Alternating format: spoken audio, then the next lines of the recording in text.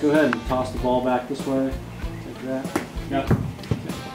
And then give me some with just your arms kind of out. Give me like one, one leg forward and just like kind of some, So muscle it up a little basically.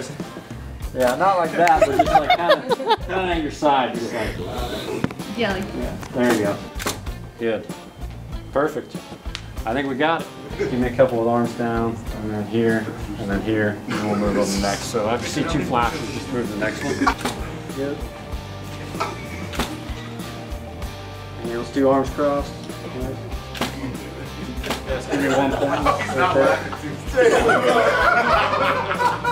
Give me one straight at camera like that.